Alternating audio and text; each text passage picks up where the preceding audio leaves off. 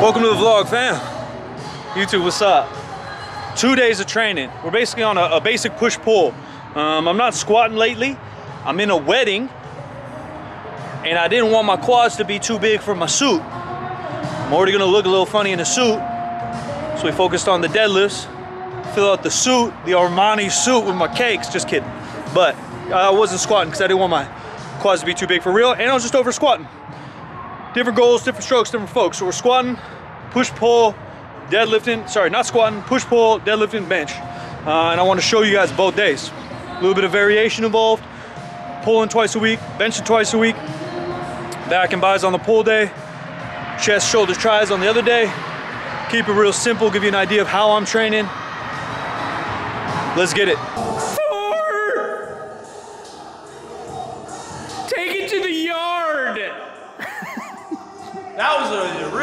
Real dinger. I you, you're so like you're so long. That's what she Kick your said. toes out a little bit. Yeah, like you're squatting, like you're squatting. Yeah, yeah, yeah. And then and then fix your face a little bit. You can't fix that, hmm. Mike. I want He's to too fix handsome. Can I fix your face with this? Yours right now? no, Mike's Is that a threat live on the internet, dude? Maybe. Is that TOS? No, but your beard looks fantastic. It No, really does. don't, don't. No, it don't. looks good. Don't. You look good. You look good. Look at that. Look at that lineup. Sharp. Jawline of a fucking granite rock stone on the Isles of Ireland. I want you to lose some of this turkey. I turkey. bet you the old videos, like it shows how much further down the line is. Oh yeah. Oh, dude, if, if Seabass can really edit, we're doing a Transformation Tuesday and it's Dan's beard. Physical changes, just your change. Oh, the physical change is me getting fatter. Aww. Oh, wop, wop, wop, wop. All right, let's deadlift.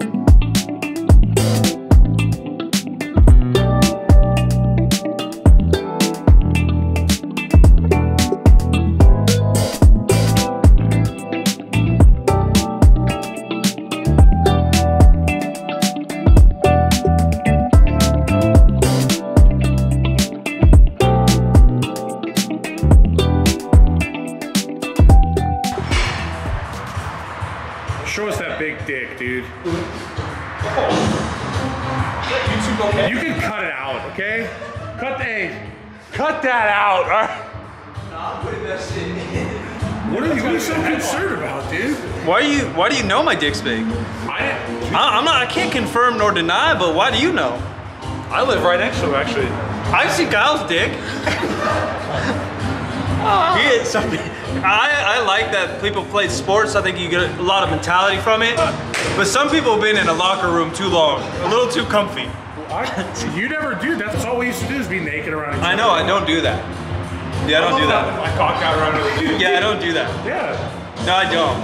Why not? That's like my favorite thing, actually. It, like, if it turns on, is it weird? I don't like it. I don't like it. It has nothing to do with sexuality. so is it bad? That's, that's I'm getting at. Is it bad that we used to do, uh, uh, like, this, some, this is going. I don't even know if I want to say it. We used to play fucking cum biscuit? No, like because sometimes Turn the lights off and play who's in my Sometimes there would, be two, there would be not enough showers, and you would you would You double up? You double up. No, you wouldn't be in the same shower, but like you. No, you just said there's not enough showers and you doubled Listen up. to me! You double up to the point where like you'd stand outside of it, and then you you'd wash your hair, then you'd step out. Yeah, I'll do that with my wife. Uh, cheers, kids. H2O does a body good. I'm back, man. New video. For anybody who's new, welcome.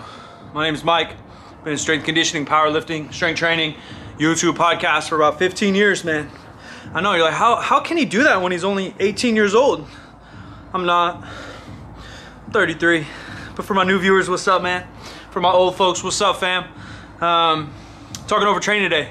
I think there's a lot of people start to set new goals, set new fitness routines, try to better themselves in the new year. We'll probably get some new viewership. Um, we'll probably get some older questions, re-ask, reimagine, and maybe I can put them out to you in a, a new, interesting, or, or a way that can connect with your brain a little bit better. The idea of overtraining is something often come up when people are talking about getting back into the gym, and the truth is, it's all horseshit. Um, you can't overtrain. It's possible, right? If we're not eating right, we're not sleeping right, we go from zero to 100. Um, there's something called rhabdo that can happen, and there are some things that are not great and unhealthy that can happen from overtraining. But for the majority of us, it's not going to happen. And by majority, I mean 90 plus percent. It's not going to happen. Um, the truth is, is we can be out of shape and we can be not fit enough for the stimulus we're throwing at our bodies. Um, but, we, but with consistency, we can adapt and overcome. Um, if you if you haven't been lifting weights in six months and you come in and want to do 30 sets of max effort deadlifts, something bad may happen. It's just not very smart. Um, will you necessarily overtrain? Maybe not, but it's probably just not the smartest approach. We want to do the most amount of work. We want to do the least amount of work with the most amount of efficacy. We want to get um, the most out of the least, right? So if I can get stronger, healthier, build more muscle, burn more fat by doing three sets of deadlifts, why am I going to automatically jump into 10? And the truth is, our strength, our fitness, um, our conditioning, our sleep, our, our nutrition, all these things are kind of the same as, as we want to start to raise our base level, level of what we can tolerate and, and the work capacity we can handle. If you generally want to get healthier, uh, a balance between obviously your nutrition and sleep, um, but our conditioning and, and, and our lifting will be key. The fact that people go out there and talk about overtraining and oh you're working too hard is, is honestly BS. Even the highest athletes are not. I mean think about what an NBA player puts himself through. How many games they play, how many minutes they play, how much they're running year round. Now obviously their base level of work capacity and fitness is very, very high, but they're not dying, they're not exploding, they're not losing all this muscle just cause. If, if your calories are, are, are, are substantial enough, if you're eating enough calories, sleeping enough, um, we can gain muscle, we can burn fat, and we can reach all of our goals. Um, the overtraining became a thing, I think, because people expect faster progress than they're getting. To build muscle, to literally make tissue, takes time. You're not gonna see it after your first workout. You might not even see it after your 100th workout. You may not ever see it. Um, because you see yourself in the mirror and your clothes every single day, but over time, chipping away at it, it, it will happen. Um, that's why often as a coach and as a lifter myself, I prefer to have baselines and, and standardizations of my strength. Strength is something that you can gain week to week, month to month, um, and, and, and it's quantifiable, right? Yeah, we can measure our arms and see how much muscle we gain. We can measure our waist, and even if you want to go get a scan and see how much body fat you have, you can use the scale to see how much weight you've lost or how much weight you've gained. But when we focus in on strength goals or even volume, how much work we handled in a workout, if I did three sets of eight on 225 pound bench press, next week I'm gonna try to do four sets of eight or three sets of nine.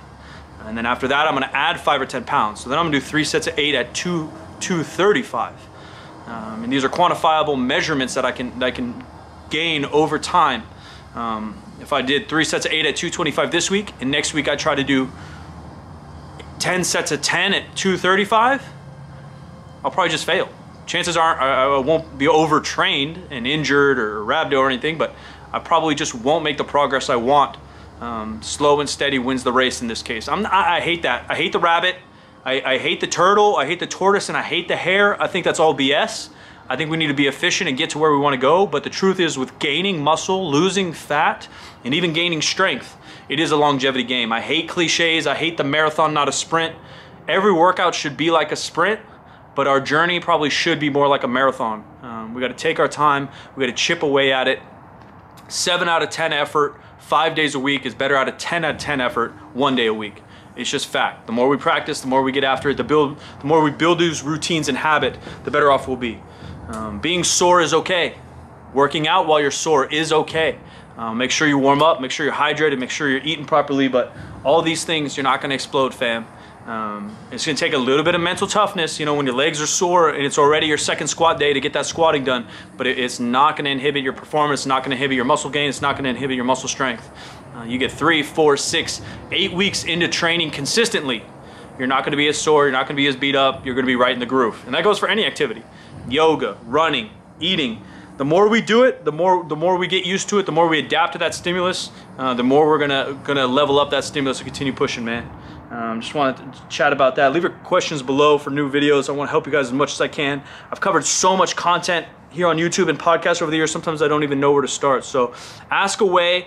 I'll, I'll cover it in upcoming videos. Check back in older videos. This channel's been around seven, eight years. So thank you guys so much, man. Stay safe. New vlogs, new videos, training every single Tuesday. Salam alaikum out.